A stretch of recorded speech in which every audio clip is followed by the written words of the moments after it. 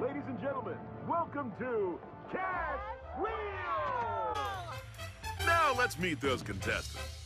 I'm Doug from Fairfield, California. Engineer, let's go on the road trip. Alrighty then. Let's get my.